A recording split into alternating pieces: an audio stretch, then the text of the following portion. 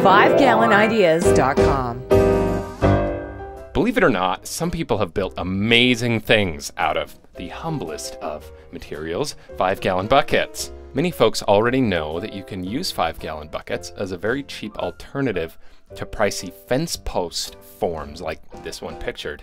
A standard bag of concrete will fill up a 5 gallon bucket exactly to the brim, so it's almost as if one was made for the other. But why stop there? One desert southwesterner built his entire fence out of hundreds of 5 gallon buckets, keeping his house fortified in the thriftiest way possible. And if that's not enough, here's some folks who built an entire house out of buckets. It's called the Ice Cream Igloo because it uses ice cream buckets, actually. It's a little bit small, but small houses are all the rage right now.